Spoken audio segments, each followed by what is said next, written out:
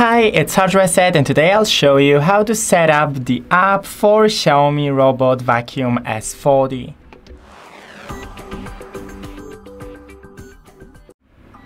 First, install the Xiaomi Home app and open it, agree, and here select your region and then sign in with Xiaomi account. So give me a minute. Okay, now select the access to the device location. I'll select only this time, the notifications, and you're ready to go here.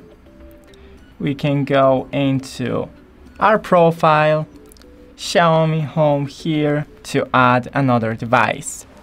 Thanks for watching, don't forget to leave a like and see you in the next one.